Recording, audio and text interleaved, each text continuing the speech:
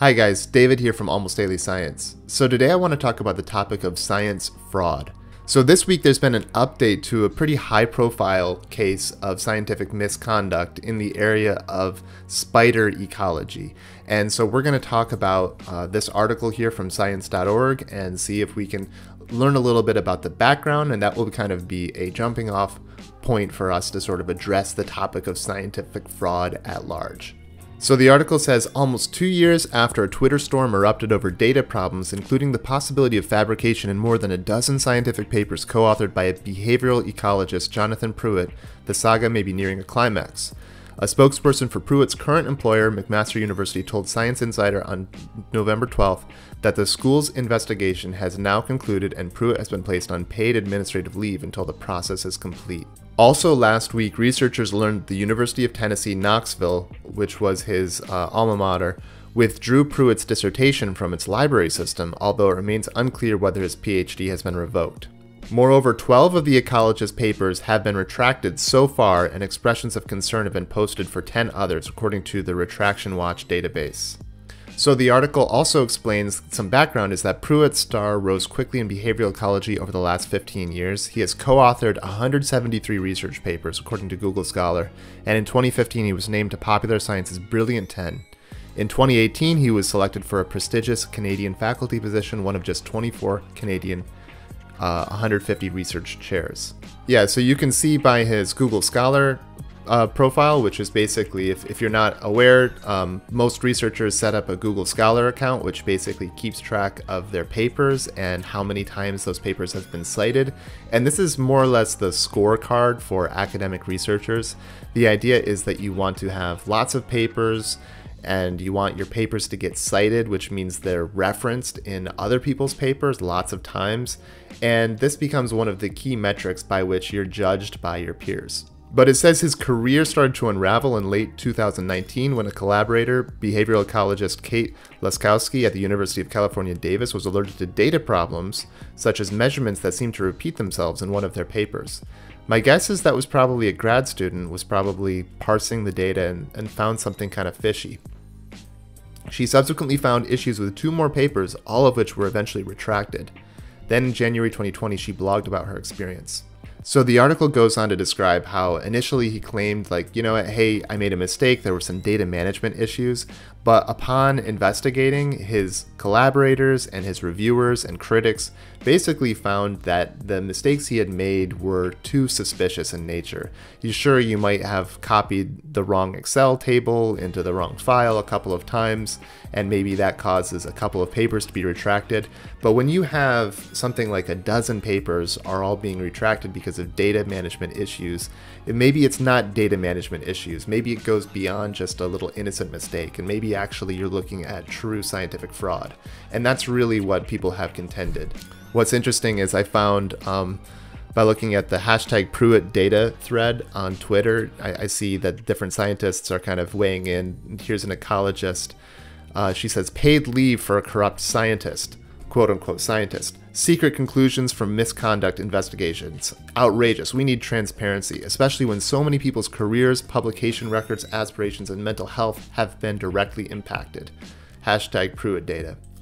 And what she's referring to is the fact that um, his university has, as we said before, done an investigation and they've placed him on paid leave, but they haven't disclosed the results of the investigation, and it's not clear if they will. Hopefully, they do, because honestly, when someone is engaged in science fraud, you know, you think at first glance, like, well, that's just going to affect a, a, few people, but it really does affect a lot of people, and the people that it affects, it can affect in a big way.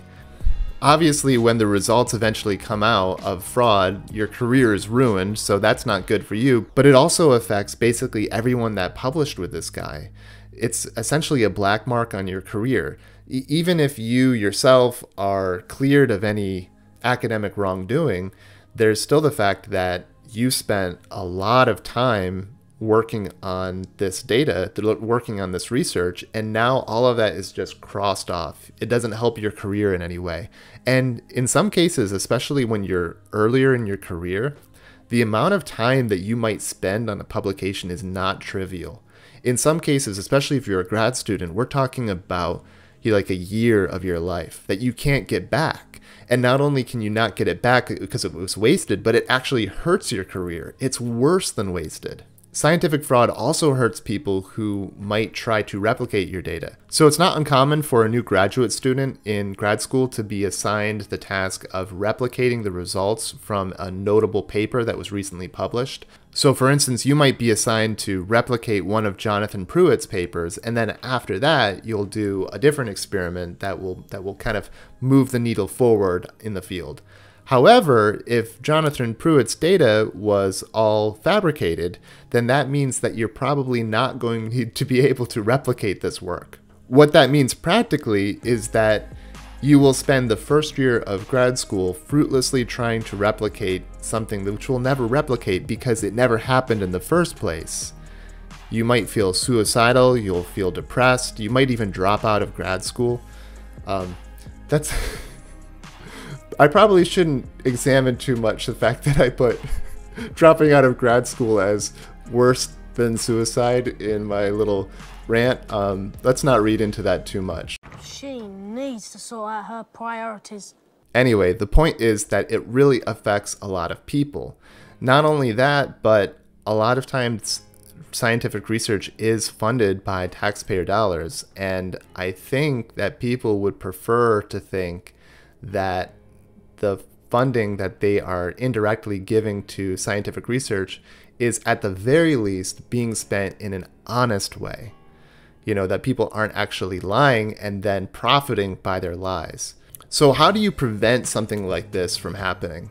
Well, I think a big part of it comes from just uh, talking about stuff like this. I think the more people talk about Jonathan Pruitt's case, the more people will uh, avoid going down this route themselves. And actually, uh, I think a big part of this in my own life was that in my first year of grad school, we actually were part of a, a, a book club class. It was uh, kind of like a scientific ethics class, but it was more than that. It was, you know, touched on a lot of different topics. But one of the things we did is we actually read this book here, Plastic Fantastic How the Biggest Fraud in Physics Shook the Scientific World, which is an excellent book that I recommend and it's actually very painful to read because it's basically the story of um, how this rising star physicist uh, Jan Hendrik Schoen faked the discovery of a new superconductor at the world famous Bell Laboratories. And what happens is that the journalist kind of uncovers that it looks like this guy started to lie about his scientific results relatively early in his career and the lies were maybe small at first, and perhaps they were motivated by stress. You know, maybe he was stressed out because, oh man, um, graduate school is hard and there's a lot of pressure to have good results. And if you don't have good results, then maybe other people will look down on you, or maybe you'll have to drop out or something like that. So he started to lie a little bit, and then the lies started to get a little bit bigger as he got away with them and eventually he was lying to the point he was he was getting um, huge accolades. He was his career was advancing really really fast. He was being praised at conferences and getting extra funding. He was getting subordinates working for him all at Bell Laboratories and and people were like, "Wow, maybe this guy is going to be like a Nobel Prize winner. He's he's truly uh, really shaking shaking the world up." The only issue is that it started to be that nobody could replicate his work. And at first, he would kind of gaslight them, like they would call him up and be like, Oh, Dr. Schoen, you know, I, I couldn't replicate your work. Um, and he's like, Well, you're probably doing it wrong. It's kind of tricky. And he would like sometimes like fly out there and then like um, try to like help them set their stuff up and he'd be like well you have the wrong components or something and then he'd like fly back home. People would come to his lab and be like well can you show us how you do it in your lab? And he's like oh well you know the equipment broke down so i can't show you today but come back another time and i'll show you. And there's a limit obviously to how long you can pull something like that off. And eventually it came out that he was a fraud and it was really impactful. He like this guy um, well, I don't know if Jonathan Pruitt is going to have his PhD revoked, but this guy had his PhD revoked and he became one of the most hated names in science. And for good reason, because he really fooled a lot of people. And again, you think like, well, what's the point? But there were people who uh, tried to replicate his work, spent years of their life trying to replicate his work, and and couldn't. And that's heartbreaking, especially when you're in the beginning of your career. All of your hopes dashed because you're thinking like, well, I can't replicate Dr. Schoen's work. I must be a terrible scientist. I must suck. I'm horrible. And the whole time, the reason you can't replicate it is because it never happened in the first place. The thing that scared me the most about this was the fact that it looks like his lies started out so small. And I think that's the lesson actually is that when you're doing science or really doing anything that involves a degree of trust or integrity, you should put layers of accountability. What this looks like actually is synonymous with um, increasing rigor. So, for example, there are things that scientists can do to keep themselves honest about their data. Now, I've noticed that when I am analyzing data that I measured, sometimes if I have a narrative in mind, like I think there's a specific mechanism and it works a specific way, I find myself, you know, hoping that the data will come out to match my presupposition. And if it does, I'm happy. And if it doesn't, I'm, I'm disappointed. But there's always some subjectivity to how you work up or analyze data. So, for instance, if you are um, measuring a specific curve, you might need to manually place the boundaries upon which the software will measure that curve. And maybe if you know that you hope the number will be large, maybe you just sort of imperceptibly put the boundaries a little bit wide around the curve so that the number will be a little higher. There's little things that you might do like that, sometimes without even realizing that, kind of massaging the data to support what it is that you want to believe. Well, there's a really simple way to prevent this, and it's actually called blinding. And one way to do this is to have your colleague analyze and work up your data and not tell him or her what it is that you expect to find. Say, hey, I have these curves. I would love it if you could integrate them and give me the results in a table. Um, I'd be happy to return the favor for you. In the meantime, I'm not going to include any any like information about the data so that there will be no temptation to sort of massage the data. And so if he or she comes back and the data fits your presupposition, that's exciting because that's a result that you can trust. And there are little things that you can do basically to enhance the rigor of your work. And at the same time, it basically puts walls in between you and the temptation for fraud. For this reason, I think the the lesson in this is not to look at this guy and be like, "Wow, he's a monster. He's a terrible person," but to look at him with some sympathy and say, "You know what? Um, he's a human being, and at some point, he probably made a small decision to blur the lines, and that most likely evolved into full blown data fabrication and fraud. Now, it's possible that he's, you know, maybe more of like a sociopathic type and he's just been like sort of lying without any kind of qualms of conscience for like for a really long time, but my guess is is that he started off probably in a very um relatable situation. Like he was stressed, he wanted some data, and he just, oh, let me just like massage the data. And I actually have another story about that. Uh, my thesis advisor told me a story about a colleague of his. I believe, I'm not sure if it was in grad school or if when he was doing research in a different institution, but he noticed his friend was, was working really hard on something and he said, Hey, what, what are you working on? And he said, Well, I'm modifying my NMR data um, to correct it.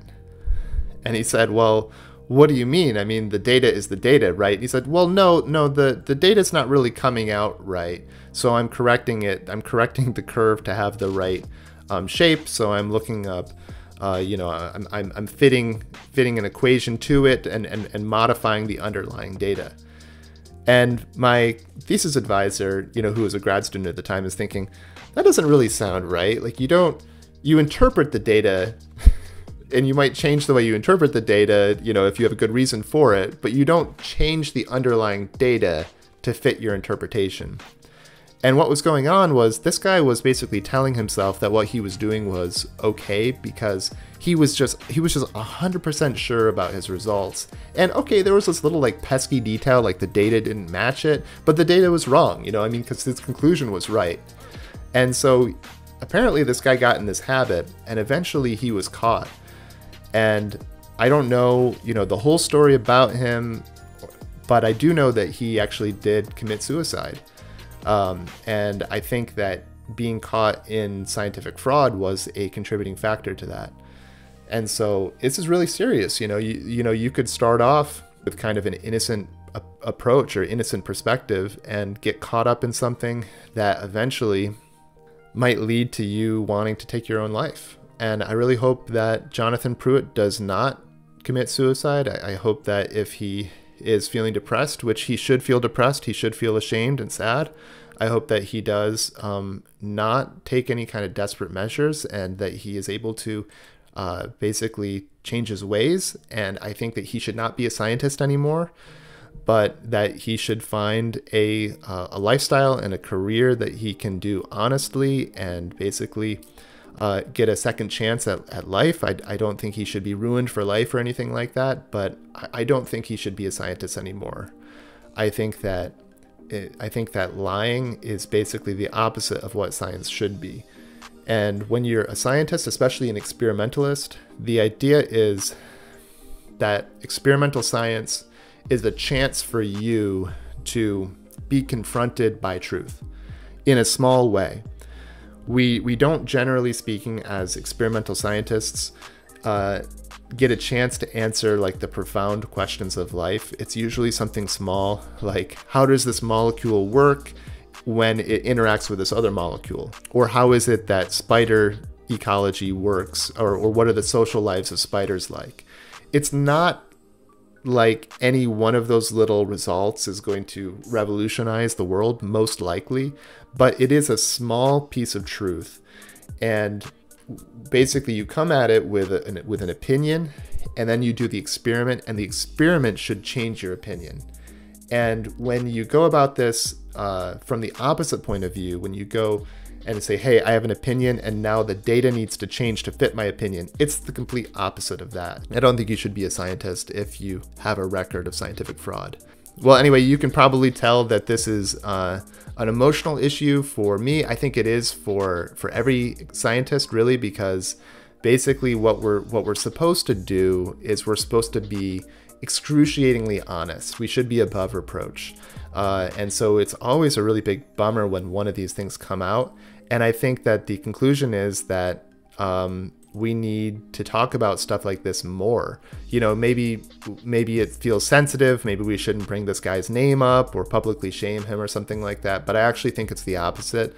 I think the more we talk about cases like this, I think it will prevent it from happening. I, I hope that if you happen to watch this and you're a researcher or you're thinking of going into science, that your conclusion will be I want to be 100% honest, even if it means my career doesn't take off as much as I would like it. Uh, and I also recommend, and this is interest. This should be interesting if, if, even if you're if you're not a scientist or if, if you're not interested in science that much. I do recommend this book, Plastic Fantastic. It did definitely make an impact on me, and it's actually just a pretty good story from a journalistic point of view, anyway. So Anyway, thanks so much for watching. I hope you enjoyed the video. If it was useful or entertaining in any way, please go ahead and like and subscribe, and I hope you'll join me again in the future soon. Bye.